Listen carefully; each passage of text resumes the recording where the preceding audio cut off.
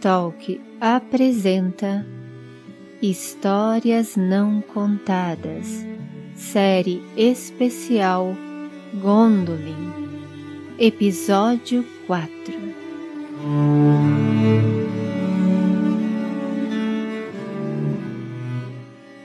Naquelas terras descampadas perto do grande mar, Tuor andou por muitos dias explorando a região a água do cantil terminou, mas ele não passou fome, pois era um bom caçador e as terras eram fartas de aves, animais e peixes. Seguiu para leste, alcançando terras mais baixas, e viu a grande distância a escura, alta e enevoada linha de montanhas. Ali estão as montanhas onde encontrei Gelmir e Arminas, e por debaixo delas passei através do túnel, ponderou Tuor consigo mesmo. Mas agora, novamente me vejo em uma escolha difícil, pois não sei o caminho adiante. Apenas sei que devo ir para o sul. Esperarei nessas terras. São belas e farta de comida. Verei o que o tempo me trará. Tua chegou próximo ao imenso lago, mas não conseguiu alcançá-lo pois vastos charcos e bosques de caniços, sem trilha alguma, rodeavam todo o lago. Decidiu não ficar ali e voltou para a costa, pois o pântano e as terras descampadas não lhe davam lugar seguro para acampar, e o mar o atraía, e ele amava ouvir o som de suas ondas. Nenhum elfo ou homem Tuor viu nos lugares por onde passou mas quando desceu mais para o sul, pela costa, avistou uma escada tortuosa, esculpida em meio às rochas da encosta, descendo até uma enseada de areia branca. Lá embaixo, ele pôde divisar os restos de um cais de pedra, há muito já abandonado. Desceu as escadas lisas com cuidado, por conta do musgo que crescera sobre os degraus, parou de súbito no meio do trajeto, pois ao lado, dentro da rocha, havia uma abertura, como uma pequena porta, e Tuor precisou se abaixar ao entrar. Lá dentro, no entanto, o teto era alto o suficiente para Tuor ficar em pé sem dificuldade. Havia jarros, bacias e tigelas de barro em cima de uma mesa esculpida na pedra, e a luz do dia batia na parede e no chão através da porta, que não se voltava para o mar, mas para a escada. No centro, uma outra luz mais forte vinha de uma abertura horizontal na parede de pedra, não muito larga, por onde podia se ver toda a enseada e arredores. Tuor já sabia o que era aquele lugar, e as inscrições élficas feitas nas paredes confirmaram suas suspeitas. É uma sentinela élfica, abandonada pelos Noldor quando partiram para o reino oculto. Aqui ficarei. É seco e seguro, e posso olhar e ouvir o mar que tanto desejo. Assim, Tuor, com farta comida, regatos que desciam das altas costas em direção às grandes águas, e o próprio mar como companheiro, não mais seguiu a jornada, se demorando ali. Aquele inverno chegou e passou, assim como a primavera e um verão preguiçoso, até que veio o fim do outono e um novo inverno se aproximava novamente. Era dia claro e Tuor estava sentado na praia, riscando com uma pedra o seu nome em letras élficas na lança que lhe trouxera desde as cavernas de Andros. Olhava feliz contemplando a beleza do resultado final, quando ouviu a batida de asas e o uivo de grandes aves. Ao erguer os olhos, viu sete grandes cisnes voando para o sul em formação de ponta de flecha.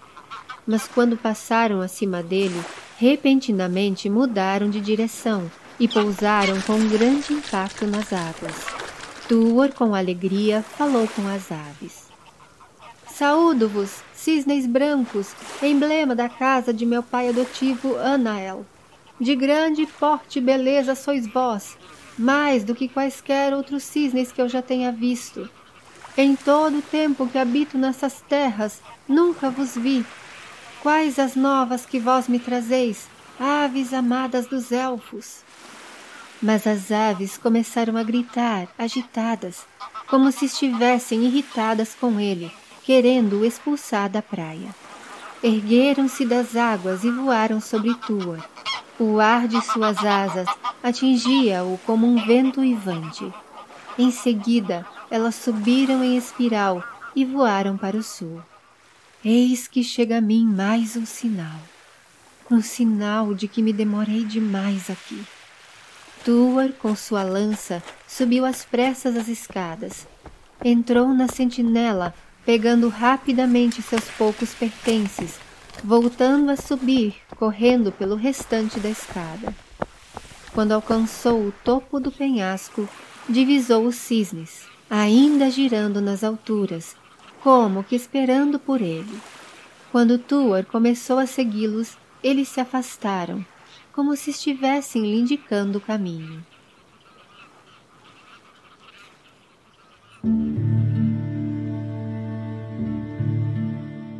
Assim, Tuor seguiu as aves por sete dias.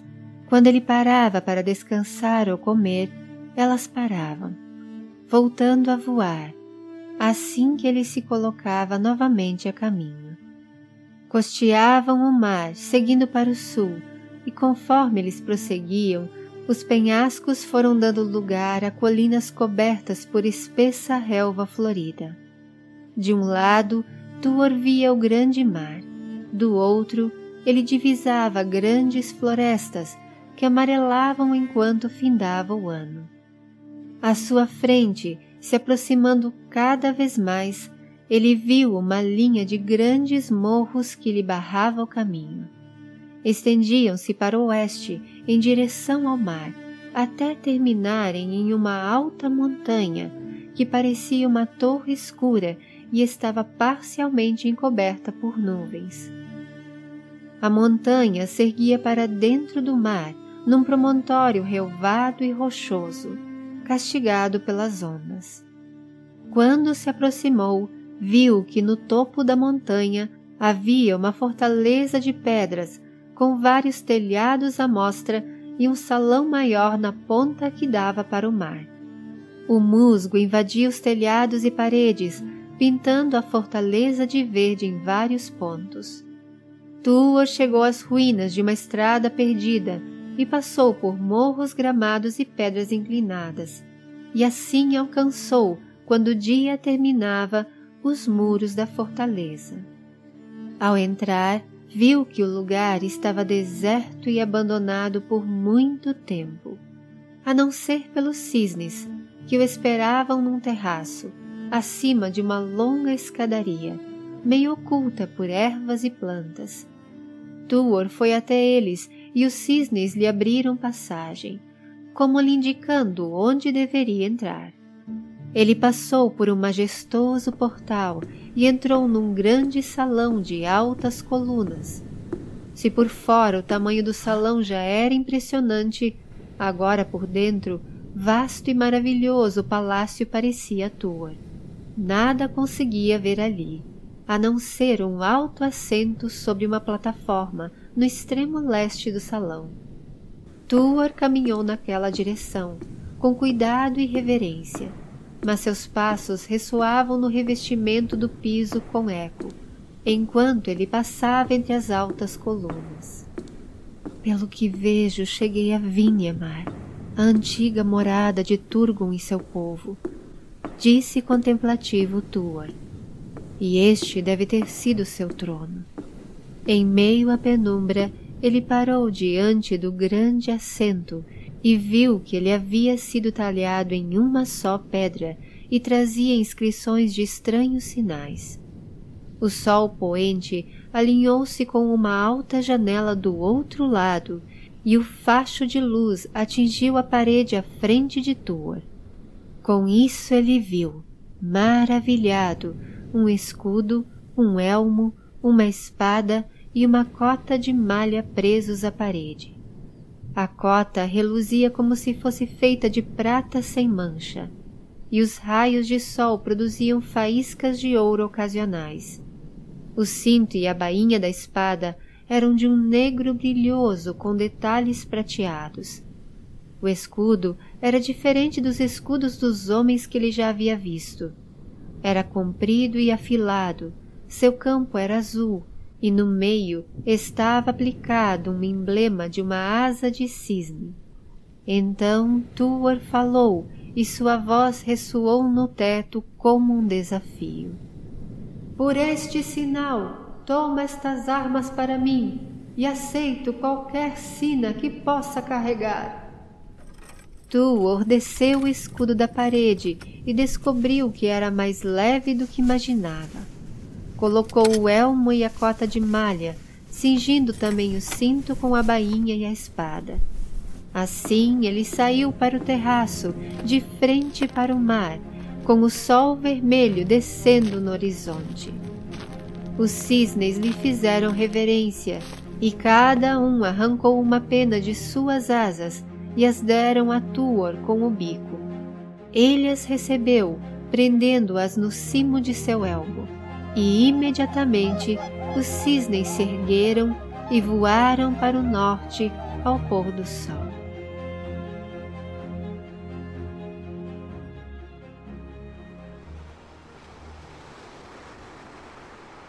Tuor olhou para o mar e desceu por uma escadaria, querendo chegar até a praia, mais abaixo. Viu o sol sumindo atrás de uma grande nuvem negra que seguia na borda do mar. Um vento frio começou a soprar forte e havia uma agitação e murmúrio, como de tempestade chegando. Tua chegou na praia. O sol era um fogo borrado atrás da escura nuvem agora, e uma grande onda se levantava ao longe, rolando para a terra. Tuor estava paralisado, olhando de olhos arregalados a grande onda que chegava. Então, subitamente, ao se aproximar, a onda se enrolou e arrebentou, se precipitando para a frente em longos braços de espuma mas onde a onda se arrebentara, escuro em contraste com a tempestade nascente, estava agora um vulto vivo de grande estatura. Tuor curvou-se em reverência, pois o ser à sua frente parecia um grande rei. Ele usava uma alta coroa como de prata. Seus cabelos caíam como espuma brilhando ao sol poente.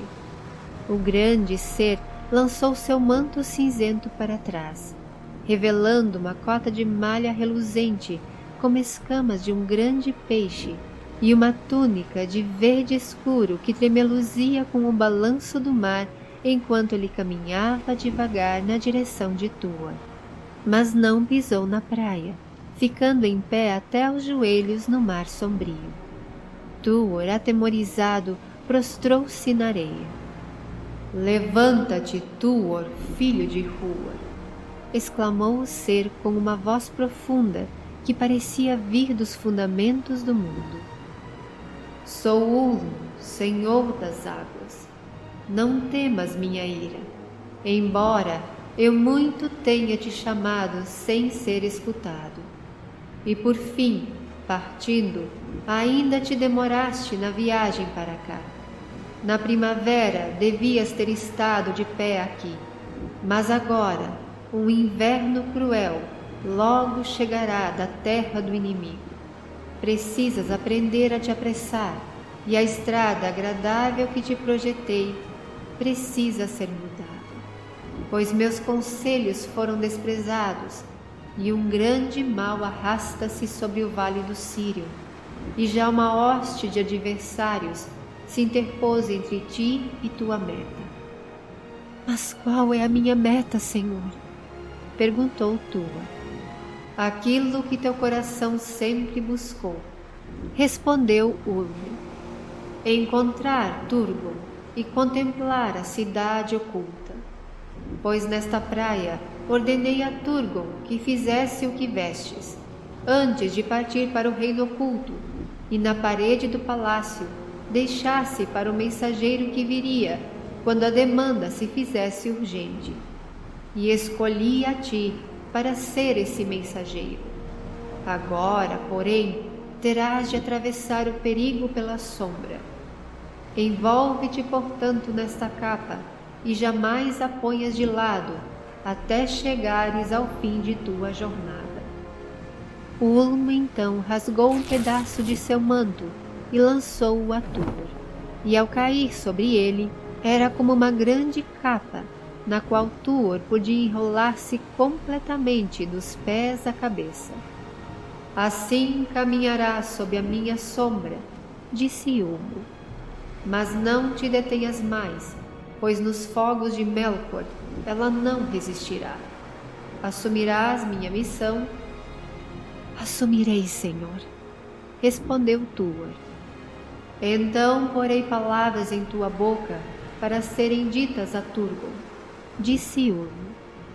Mas primeiro vou te instruir e ouvirás algumas coisas que nenhum outro homem ouviu, nem mesmo os poderosos entre os Eldar.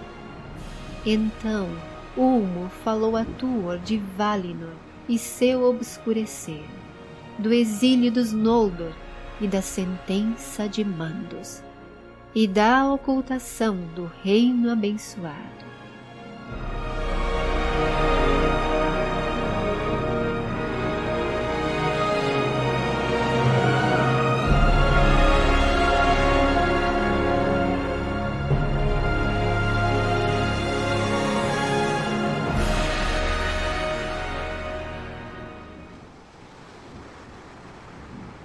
Então os elfos que vieram do oeste vieram em rebeldia e desobediência aos Valar, trazendo a maldição de Mandos sobre seus ombros. Ai de nós! exclamou Tuor, pois pela obstinação de alguns, muitos pagaram e ainda pagarão o preço.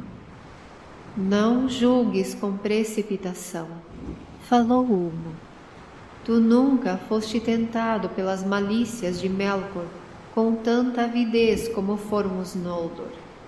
Poderosa e ardilosa é sua língua para trazer mal. Mas sei que a compaixão dos Valar apenas dorme, e é meu papel acordá-la. Para isso fui designado antes que fosse feito o mundo. Nos muros da sentença sempre há uma brecha, até a plenitude que chamais de fim. No entanto, a sentença é forte e a sombra do inimigo cresce, e eu diminuo. Na Terra-média me tornei nada mais que um sussurro secreto. As águas que correm para o oeste fenecem, e as suas fontes estão envenenadas, e meu poder retrai-se na terra. Pois os homens e elfos tornam-se cegos e surdos para mim por causa do poderio de Melkor. E agora a maldição de Mandos corre para o seu cumprimento, e todas as obras dos Noldor hão de perecer. Todas as esperanças que eles construírem hão de virar pó. Resta apenas a última esperança, a esperança que não buscaram e não prepararam. E essa esperança jaz em ti, pois assim escolhi. Então Turgon não há de se opor a Morgoth, como todos os Eldar esperam? Perguntou Tuor. E o que desejais de mim, Senhor, se agora eu achar a Turgon? Pois apesar de eu querer ajudar esse rei, como fez o meu pai, sou de pouca valia, um homem mortal sozinho, entre tantos e tão valorosos do alto povo do oeste, se decidi enviar-te, Tuor, filho de Huor, então não creias que a tua única espada não vale o envio, pois o valor dos Edain sempre será lembrado pelos elfos à medida que as eras se estenderem, como o assombro de terem dado com tanta generosidade aquela vida da qual tiveram tão pouco na terra. Mas não é apenas pelo teu valor que te envio, mas sim para trazeres ao mundo uma esperança além da tua visão e uma luz que há de adentrar nas trevas.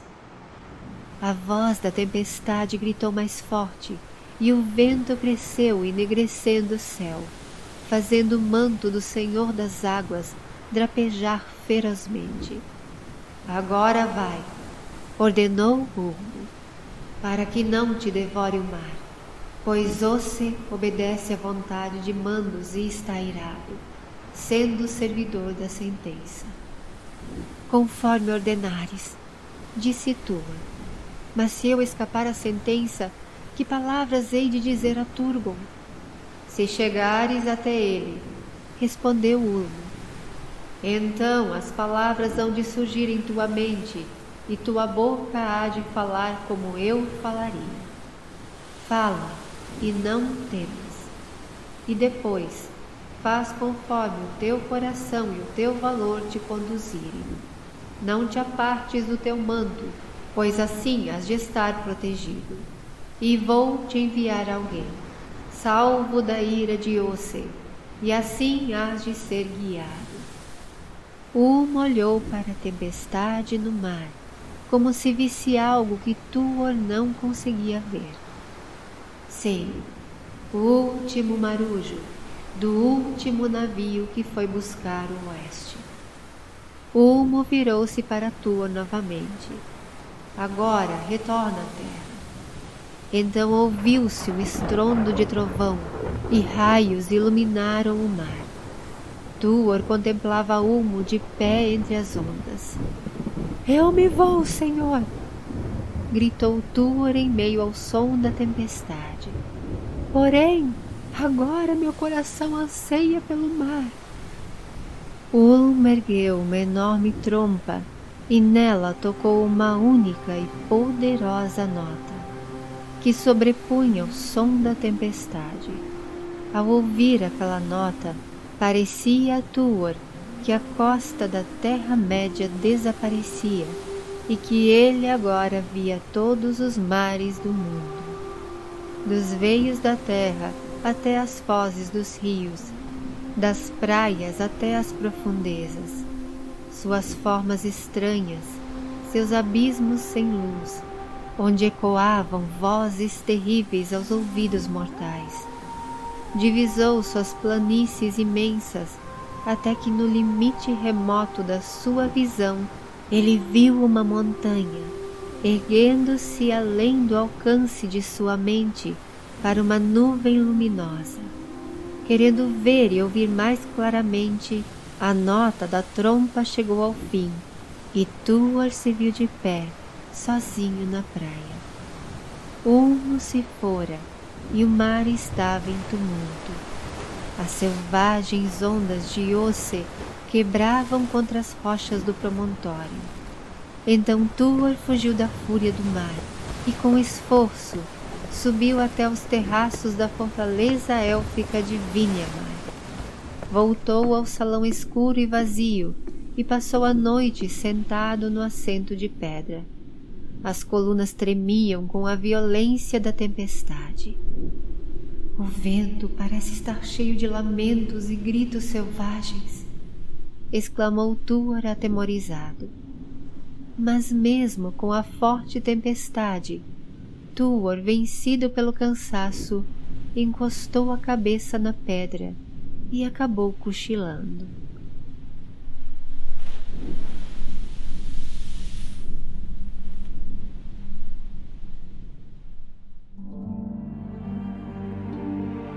Tuor vislumbrou uma ilha e no centro dela uma alta montanha. Atrás dela o sol descia e sombras saltavam para o céu. Mas acima da montanha brilhava uma única estrela ofuscante seu brilho ficou tão forte que Tuor teve que colocar a mão na frente do rosto e com isso ele acordou. Fora apenas um sonho. A tempestade se fora, mas ainda era noite escura e Tuor não mais resistiu, caindo em sono profundo. Quando Tuor acordou novamente, uma manhã cinzenta invadia o salão com sua luz pálida. E o palácio estava repleto de aves marinhas que a tempestade havia espantado para lá. Ele desceu do assento e caminhou até o terraço. Lá viu que as ondas haviam chegado mesmo àquelas alturas, pois no chão estavam espalhados algas e pedregulhos. Tuor andou até a beirada do terraço, olhando ao redor e abaixo. No terraço inferior, ele viu um elfo trajando um manto cinza ensopado de água do mar. Estava sentado em silêncio, olhando além da ruína da praia, na direção do mar. Tudo estava quieto e não se ouvia som algum, exceto o ruído das ondas mais abaixo. Tuor olhou o elfo por alguns momentos, então ouviu como alguém sussurrando em seu ouvido. Voronue. Bem-vindo, Voronue! Eu estava te aguardando, disse Tuor. O elfo virou-se de imediato assustado e curioso. Olhou longamente para Tuor antes de responder. Quem és tu, senhor? Faz muito tempo que fui ao mar sem retornar. Diz-me, ocorreram grandes novas desde que eu pisei em terra firme? A sombra foi derrotada? O povo oculto saiu de seu esconderijo? Não, respondeu Tuor. A sombra cresce e os ocultos permanecem escondidos. Sobe até aqui. Não quero ficar gritando ao vento. Voronue ficou de pé e subiu a escadaria ao lado, até chegar onde Tur estava, e por muito tempo o fitou em silêncio. Mas quem és tu, afinal? perguntou novamente. Faz muito tempo que minha gente abandonou essas terras, e desde então Ninguém mais morou aqui. E mesmo tu usando trajes de nosso povo, vejo agora que não és um deles como eu pensava, e sim da gente dos homens. Sou, disse tu.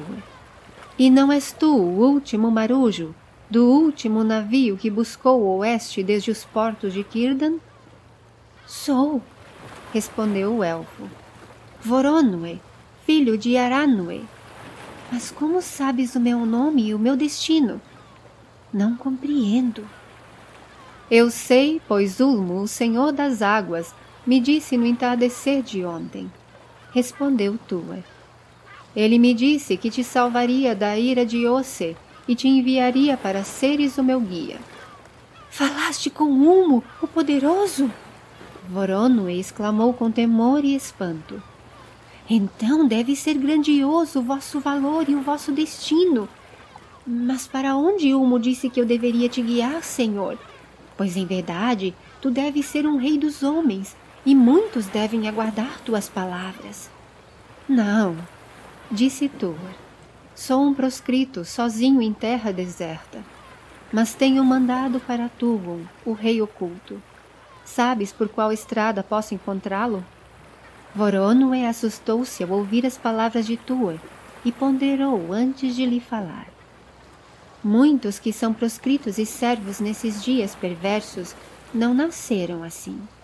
Creio que és um senhor dos homens por direito. Mas mesmo que fosses o mais nobre de teu povo, não terias o direito de buscar Turgon e vã seria tua jornada. Pois ainda que eu te conduzisse aos seus portões, tu não poderias entrar. Não te peço para me conduzires além dos portões, disse Tuor. Lá a sentença há de competir com o conselho de Ulmo. E se Turgon não me receber, então minha missão estará encerrada, e a sentença há de prevalecer. No que diz respeito ao meu direito de buscar Turgon, sou Tuor, filho de Huor e parente de Húrin, cujos nomes sei que Turgon não esqueceu, assim como das palavras de Ulmo ditas a ele neste lugar. Lembra-te que a última esperança dos Noldor vem do mar. Ou ainda, quando o perigo estiver próximo, virá alguém de Nevrast para alertar-te. Eu sou aquele que haveria de vir. Por isso estou portando o traje que foi preparado para mim. Voronue se assombrou ainda mais ao ouvir todas aquelas palavras. Ai de mim! Desejo nunca mais voltar. Suspirou Voronoi olhando para o mar. E muitas vezes jurei quando estava no mar que se alguma vez voltasse à Terra-média, habitaria em tranquilidade, longe da sombra do norte e perto dos portos de Kirdan, meu parente, ou nos belos campos de Nantatren. Mas o mal cresceu enquanto eu estava no mar, e o perigo se aproxima de meu povo. Então tenho de ir. Virou-se de volta para Tuor. Vou conduzir-te aos portões ocultos, pois os sábios não contradizem os conselhos de Yuli.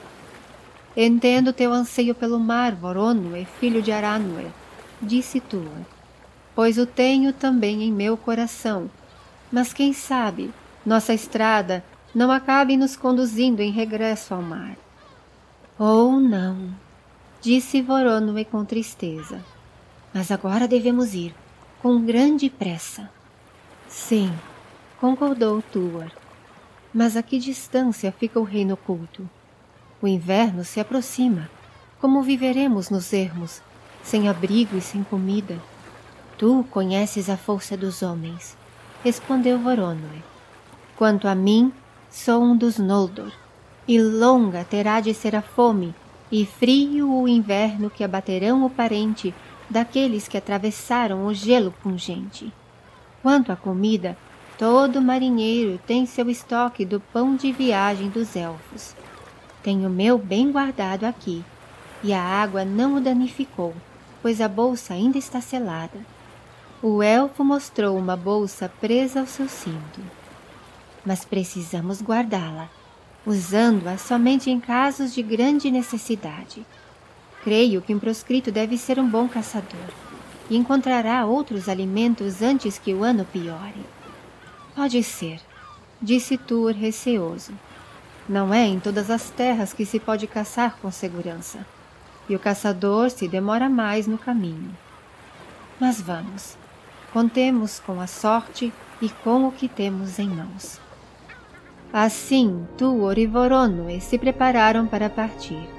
Tuor levou seu arco e flecha, mas sua lança, na qual gravou seu nome, ele fixou na parede do salão, como sinal de que passara por ali.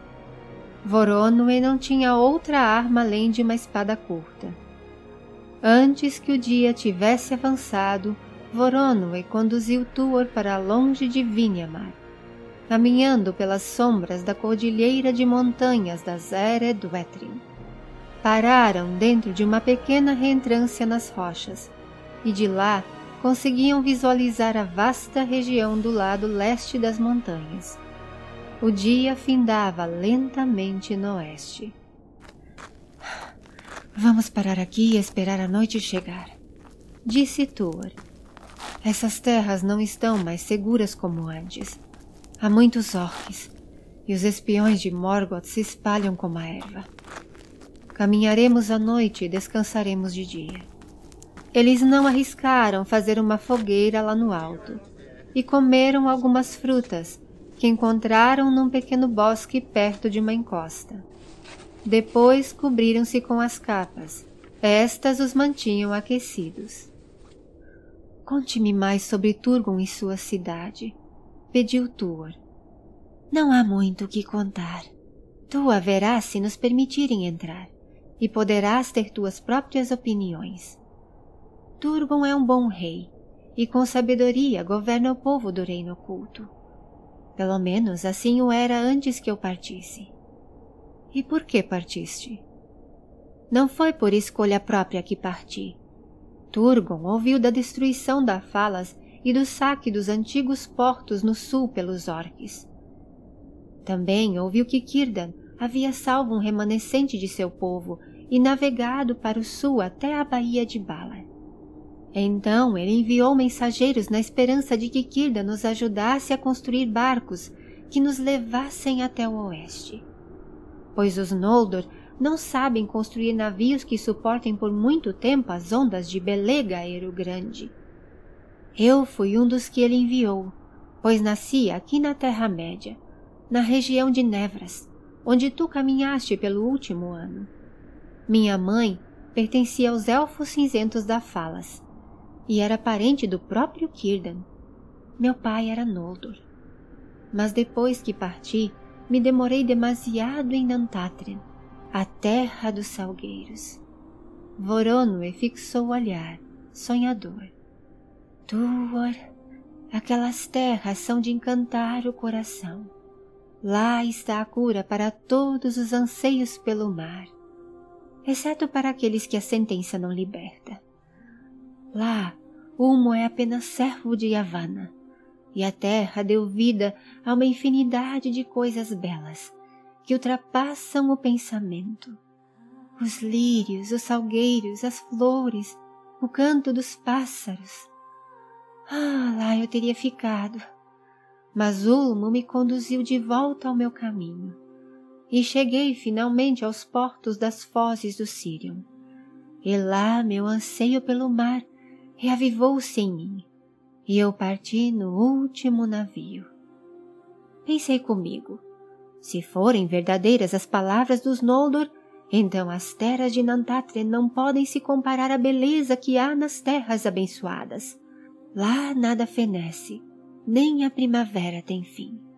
E em último caso, é melhor vagar sobre as águas do que viver debaixo da sombra do norte. Eu não sentia medo pois os navios dos Teleri não podem ser afundados por água alguma. Voronoi mudou de expressão. Havia medo e pavor em seus olhos agora. Mas o grande mar é terrível. Tuor, filho de Huor. Ele odeia os Noldor, pois é instrumento da sentença de Mandos. Coisas piores reserva do que afundar no abismo e perecer. Abominação solidão e loucura, terror de ventos, tumultos e silêncio, e sombras onde toda a esperança se perde e todas as formas vivas desaparecem, costas perversas e estranhas e muitas ilhas de perigo e medo. Não entristecerei teu coração, filho da Terra-média, com a história de meus sete anos de labuta no grande mar do norte até o sul, mas nunca ao oeste, pois este nos está barrado. Por fim, em negro desespero e cansados do mundo, fugimos da sina que nos poupara por tanto tempo para recebermos um golpe ainda pior. Pois quando divisávamos uma montanha e eu disse, Eis que surge Vinhamar, minha terra natal, o vento despertou e nuvens carregadas de trovões subiram do oeste. Então as ondas nos caçaram como se tivessem vida, saltando sobre nós com fúria. Mas como podes ver, fui poupado, pois uma onda me ergueu e me levou, rolando em direção à terra, recolhendo-se depois de deixar-me em segurança. Não fazia mais de uma hora que eu lá estava sentado, quando tu topaste comigo ainda atordoado do mar. Eu ainda sinto medo dele e a amarga perda de todos os meus amigos que por tanto tempo e tão longe me acompanharam. Voronoe suspirou e continuou falando baixinho, como que para si mesmo. Mas eram muito brilhantes as estrelas na margem do mundo, quando às vezes se afastavam as nuvens em torno do oeste. Porém, se vimos apenas nuvens mais remotas ou as montanhas do reino abençoado, não o sei. Longe, muito longe estão.